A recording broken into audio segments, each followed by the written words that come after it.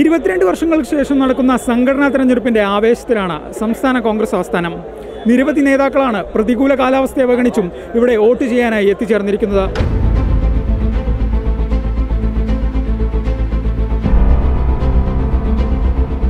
കേരളത്തിലെ എല്ലാ വീടുകളിലെയും ചർച്ച കോൺഗ്രസിന്റെ ഈ ആഭ്യന്തര ജനാധിപത്യ പ്രോസസ്സിനെ സംബന്ധിച്ചാണ്. ഒരിക്കൽ പോലും ഈ മത്സരത്തിൽ ഗാന്ധി കുടുംബം ഇടപെടില്ല എന്നുള്ളതായിരിക്കുന്ന ഇൻഫ്ലുവൻഷ്യൽ ആയിട്ടുള്ള ക്യാരക്ടേഴ്സ് മുഴുവൻ അതിൽ നിന്ന് വിഡ്രോ ചെയ്തതും ഒരു ജനാധിപത്യ പ്രക്രിയയുടെ സാങ്ക്ടിറ്റി അതിവിശിഷ്ടമായ രീതിയിൽ ഉയർന്ന ഒരു തലത്തിൽ തെരഞ്ഞെടുപ്പ് പ്രോസസ്സ് എത്തി.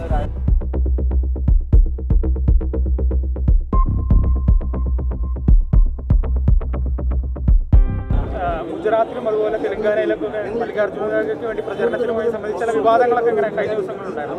അപ്പോൾ അതിനോടൊക്കെ എന്തായാലും അതിന് നല്ല ഭൂരിപക്ഷം അദ്ദേഹത്തിന് ലഭിക്കുമെന്നുള്ള വിശ്വാസമാണ് ഞങ്ങൾക്കുള്ളത്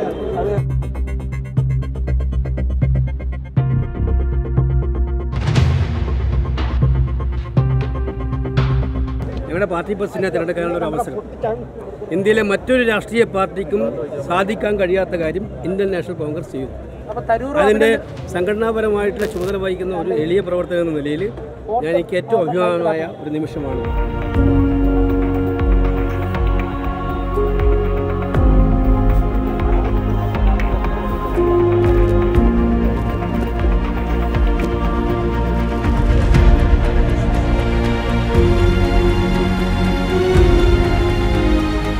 ഈ ഇരുപത്തിരണ്ട് വർഷം കഴിഞ്ഞ് നടക്കുന്ന കോൺഗ്രസ് അധ്യക്ഷ മത്സരത്തിൽ വോട്ട് ചെയ്തു വോട്ട് ചെയ്ത് ഇറങ്ങുകയാണ്. ഞാൻ ഇന്ന് രാവിലെ ശ്രീ ഖർഗേനെയും വിളിച്ചു.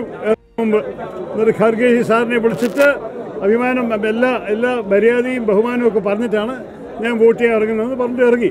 നോക്കൂ നമ്മൾക്ക് ഇതൊരു പാർട്ടിയുടെ അകത്തൊരു പ്രശ്നമാണ്. ഇതിൽ ശത്രുത്വം ഒരു പ്രശ്നമൊന്നും ഉണ്ടാവരുത്. ഞങ്ങൾ ഞങ്ങൾക്ക് അഭിപ്രായം വ്യത്യാസമുണ്ടാവാനും സ്വന്തം അഭിപ്രായം ഓരോരോ പാർട്ടി വിഷയങ്ങൾക്കുണ്ടാവാനും എല്ലാവർക്കും അവകാശമുണ്ട്. പക്ഷേ ഇവിടെ ഇരിക്കുന്ന നേതാക്കളുടെ ഒപ്പം നമ്മൾക്ക് മറ്റന്നാൾ കഴിഞ്ഞാലും ഒരുമിച്ച് പ്രവർത്തിക്കണമല്ലോ. ജയിച്ചാലോ തോറ്റാലോ. അതുകൊണ്ട് ഞാൻ എല്ലാവരും മര്യാദ കണ്ടിട്ടാണ് ഇറങ്ങിയിരിക്കുന്നത്.